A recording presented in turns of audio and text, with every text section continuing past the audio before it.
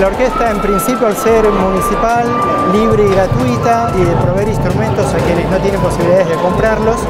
eh, es de libre acceso a aprender música y la música es un puente, es un vehículo hacia diferentes interacciones sociales, el aprendizaje de valores, construir de manera colectiva, es una mini sociedad ideal. Termina siendo un espacio transformador también, ¿no? como de una manera de ver el mundo y de construir el arte y la música colectivamente aprendes un montón, la gente, los profesores te acompañan, te ayudan, tienes algún problema te escuchan, son como, es una familia la orquesta.